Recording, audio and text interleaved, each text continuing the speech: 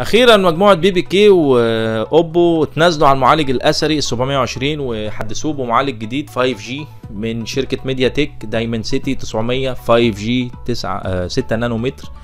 آه، بيديك آه، على AnTuTu بيديك حوالي 420 ألف نقطة.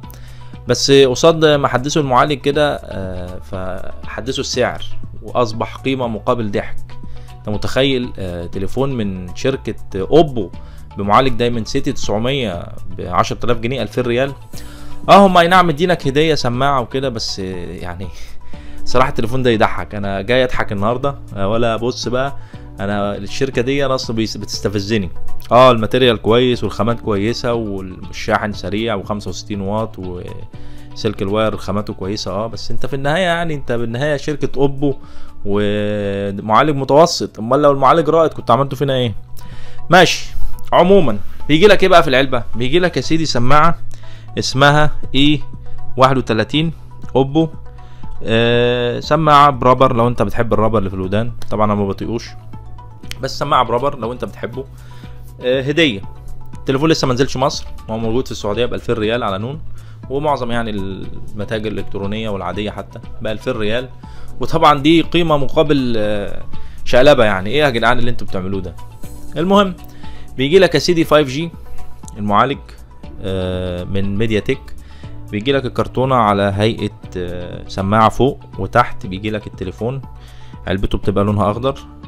بيجي لك آه، جراب والضمانات دبوس الشريحة. في علبة سودا كده شكلها فخم وحلو يعني. علبة كرتون آه بس شكلها فخم كده حلو. وبيجي لك تحتهم التليفون المغلف. عليه لزقه screen آه، protector يعني م- أنصحك تشيلها لأنها هي يعتبر إيه ال screen protector دي يعني بلاستيك بيجي لك بقى تحت الشاحن ال 65 واط اللي بيشحن لك البطارية بالكامل في 31 دقيقة على حسب كلام شركة اوبو العظيمة. وبيجي لك سلك ال USB C خامته حلوة فعلا يعني أحسن كمان من اللي بيجي مع الشاومي. ودي حاجة يعني باينة من الخامات خاماته تقيلة وحلوة محمله وبس هي دي اللي بيجي لك في الكرتونة ولا بقى سماعة. معروفة يعني الشاومي والأوبو ما بيجوش معاه سماعة ولا الكلام من ده. ومعاك ضمان سنتين. والدنيا جميلة قوي السعر حلو الصراحة. السعر عجبني السعر بتاع التليفون ده. بيجي لك بقى التصميم. يعني يا ريت مثلا قصاد السعر ده بيجي لك حاجة مثلا مميزة. مثلا شاشة مثلا آه، متناهية الأطراف. لا ده في تحت. ده في تحت يا معلم. مش دقن ده في دقن وشنب تحت. يعني شايفين البيزل اللي تحت دي ده مفيش حاجة اسمها كده في التليفونات المتوسطة. ده الريدمي 10 اللي هو ب ب- ب 2000 ونص ولا ب 3000 جنيه. يعني معلش بيجي لك بيزلز أقل من دي تحت. إيه يا جماعة اللي أنتوا بتعملوه ده؟ آه، الشاشة بتجي لك 90 هرتز مش بتجي لك 120 هرتز تحديث الشاشة. آه، بتجي لك سطوع آه، 600 بس ما بيوصلش ل 900 ولا ل 1000 سطوع الأقصى. بتجي لك 1080 وبتجي لك 90 هرتز AMOLED. فيها HDR 10 ودي حاجة حلوة. وفيها ثقب ثقب بتاع الكاميرا ال 32 ميجا بكسل على الشمال. شاشة حلوة مش وحشة بس مش في فئة السعر دي. تصميم من بره يعني بيقولوا إن هم عاملين الكاميرا بالسيراميك وحواف الكاميرا كده معمولة بال بال silver. يعني حاجة مادة زي الالومنيوم بس هو من الظهر glass يعني من الظهر قصدي مش glass من الظهر بلاستيك. هو في تطريزة كده مموجة بتغير اللون مع الإضاءة وبيجي لك يعني بتصنفر لو أنت بتحب صوت الصنفرة ده. ومعاك زرار ال power على اليمين اللي بيعلي الصوت ويهديه على الشمال. دبوس الشريحتين فوق وبنشكر طبعا شركة أوبو العظيمة على الشريحتين وكارت ال memory الموجودين في نفس الوقت. من فوق عندك مايك للعزل ومن تحت عندك مايك تاني للعزل ومدخل التلاتة ونص ملي تشكرهم طبعا شركة أوبو العظيمة. وال USB C اللي بيدعم الشحن السريع. آه الشاحن مكتوب عليه 65 ولما بيجي يشحن التليفون بيبقى مكتوب 33 واط VOOC charge والسماعة الخارجية موجودة بالأسفل بفتحات يعني مرصوصة كده بشكل آه، يعني شكل جديد. نسمعكم بقى السماعة الخارجية العظيمة. طبعا ما بيجيش آه، ما بيجيش stereo speaker سماعة فوق وسماعة تحت. يعني ال Redmi 10 بيجي فيه stereo speaker وال 11 Pro. بتاع الشاومي ال 11 Pro ال 5G بيجي فيه برضو stereo speaker فوق وتحت وبرضو لسه still الأسعار التليفونين اللي أنا قلتهم دول آه، واحد بتلاتة والتاني بستة ونص. عموما هنيجي لموضوع السعر ده بعدين لأن موضوع السعر ده يعني يا جماعة شركة عظيمة الشركة دي. أنا منبهر بصراحة التليفون ابو 10000 جنيه ده. فين الصوت؟ تعال يا عم. سمعنا الصوت. هو الصوت حلو بس تحس إن أنت يعني مكتوم كده شوية يعني. هو عالي بس تحس إن أنت جاي من من, من الكهف. الصوت جاي من الكهف.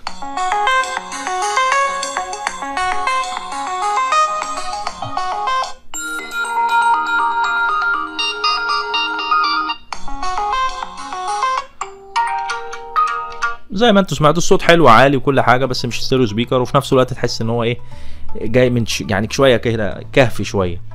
طيب تعال نسمع صوت ال mic. ال mic العظيم بتاع آه، شركة أوبو العظيمة.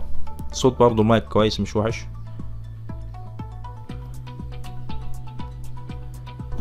ده صوت المايك مع الدوشة مع الحاجات اللي حواليا دي مع الهوا. ده صوت المايك بتاع الأوبو Reno 7 5G آه 5G. وركزوا على ال 5G دي. فصوت المايك حلو صوت السماعة الخارجية حلو. الشاشة حلوة بس مش أحسن حاجة. في سطوع أعلى منها وفي هرتزية أعلى منها. ف وال body من بره بلاستيك ومن front Corning Gorilla Glass 5 اللي ما يعرفش Corning Gorilla Glass 5 ده شركة Corning دي مشهورة بس عندهم إصدارين أحدث من ال5 عندهم ال6 وال Victus يعني طالما أنتوا حطيتوا بقى تليفون ب 10000 طب حطوا أحدث نسخة بقى من من حماية الشاشة. حطوش حطوا نسخة موجودة من حوالي 3 4 سنين. طيب خلينا كده نتكلم شوية عن أداء البطارية. البطارية بتجيلك إيه؟ 4500 بطارية تدعم الشحن السريع 65 واط تديك الشحن full 100% بحوالي 31 دقيقة. ومش بعيد برضو عن ال Redmi ال Xiaomi ال 11 Pro ال 5 G بيديك برضو شحن في 42 دقيقة بيديك full 65 واط برضو. تمام؟ بس التانية بقى بطارية محترمة 5000 غير هنا. هنا برضو بطارية محترمة وكل حاجة. وهتكمل معاك اليوم بس لو انت فحت لع- لعب وكده مش هتكمل معاك اليوم بالكامل يعني. محتاجة تشحنها مرة في نص اليوم ونص ساعة هتفولها. ودي حاجة يعني ميزة وعيب. هي البطارية آه مش كبيرة قوي بس في نفس الوقت إيه بتشحن بسرعة.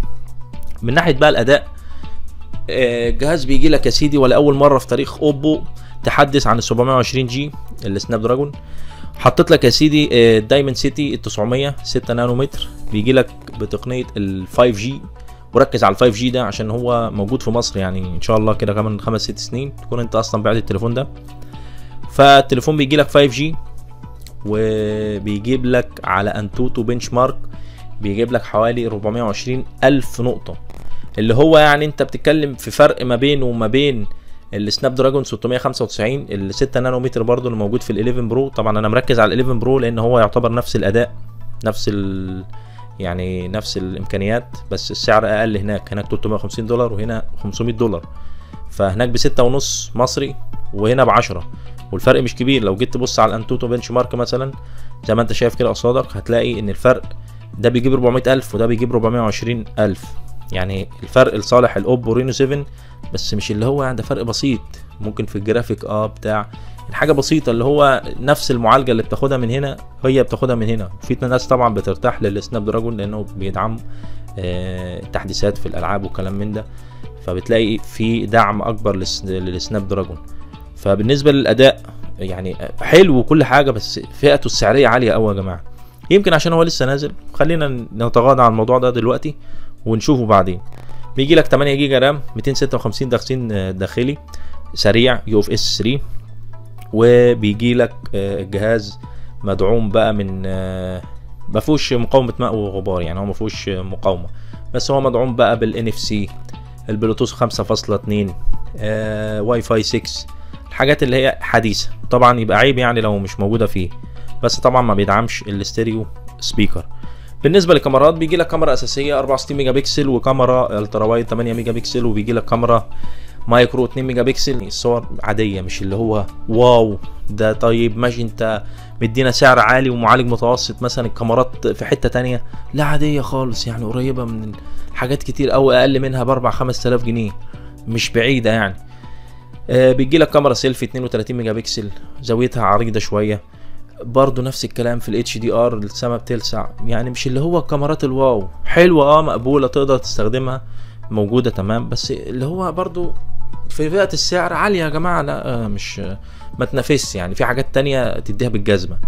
فهو ده بالنسبة بقى للتصميم للإمكانيات للسطوع للشاشة لل لل 5 G اللي محدش بيستخدمه في مصر. بس يعني هيديك دعم 4 G أسرع لو انت عايز 4 G أسرع يعني. هيدعم الموضوع دوت وبس هو ده كل حاجة عن التليفون. أنا مش عارف ما فيهوش حاجة مميزة يعني أقول لك عليها مثلا مقاومة ماء والغبار. أو مثلا في مثلا stereo speaker أو مثلا في حماية الشاشة عظيمة أو سطوع الشاشة عظيم أو الهرتزية بتاعه الشاشة عظيمة 120 مثلا أو المايكات مثلا يعني التليفون عادي يا جماعة. تحس إن هو يعني فئة متوسطة وما فيهوش أي طب إيه مميزاته بقى؟ لو اتغاضينا لو أنت يعني خلاص أنت تقبلت موضوع السعر. هقول لك يا سيدي مميزاته. عندك شاشة OLED تدعم ال HDR 10 حلوة دي في. في الألوان وكده. ال color ال color correction بتاعها ممتاز. عندك يا سيدي آه ستيريو ما عندكش ستيريو. عندك السماعة الخارجية صوتها عالي آه الشاشه محترمة. البطارية تمشي معاك اليوم لو انت استخدامك متوسط. كاميرات آه متوسطة معقولة تقدر تستخدمها بس مش اللي هي ال top في الفئة المتوسطة دي. تصميم أنا شايفه عادي جدا. من ورا ممكن يكون مقبول بس من قدام أنا مش عاجبني ال bezel ال bezel اللي تحت دوت الشنب والدقن اللي تحت ده كبير قوي قوي قوي قوي والمعالج نفس الكلام في الفئة المتوسطة موجود في تليفونات أرخص منه بكتير. طيب هل بقى في في النهاية تشتري التليفون ده ولا ما تشتريهوش تشتريه في حالة واحدة بس لو أنت بتحب Oppo. غير كده ما تشتريهوش لأن التليفون ده يعني أنا بحب مثلا حاجة زي ال 11 Pro Xiaomi ال 11 Pro 5 G. بيجي لك بالمعالج ال Snapdragon 695 6 نانو برضو. وبيجي لك نفس الأداء يعني وبيجي لك بطارية 5000 نفس سرعة سرعة الشحن 65 واط. وبيجي لك شاشة تحديث 120 هرتز OLED برضو. Corning Gorilla Glass 5 ورا وقدام إزاز مش زي هنا الظهر بلاستيك. فسرعة البصمة يعني حلوة برضو مقارنة بهنا. هنا البصمة تحت الشاشة سريعة برضو حلوة ما فيش مشاكل فيها. معروفة يعني ال BBK في الموضوع البصمات. بس بقى فرق السعر كبير. تاني بستة ونص وده هو لسه منزلش في مصر يعني بس هو في السعودية بعشرة. أكيد هيسعر في مصر في مصر بعشرة برضه يعني كبيرهم هيسعروه بتسعة عشان يمشوا السوق بعد الغلا ده. ففي فرق سعر جامد. في فرق تلاتة أو أربعة آلاف جنيه ما بينه وما بين الشاومي ال 11 Pro فانت لو هتشتري لا اشتري ال 11 Pro. يعني قيمة مقابل سعر حقيقية. أما هنا ده قيمة مقابل Oppo. قيمة مقابل ضحك. مفكرين نفسهم بقوا Apple خلاص. يعني Apple عندها نظام خاص بيها. كاميرات أحسن كاميرات أحسن فيديو. يعني الفيديو اللي بصوره ده بالكاميرا بتاعت ال iPhone. يعني في حتة تانية مفيش بقى مفيش هزار في الكاميرات هنا.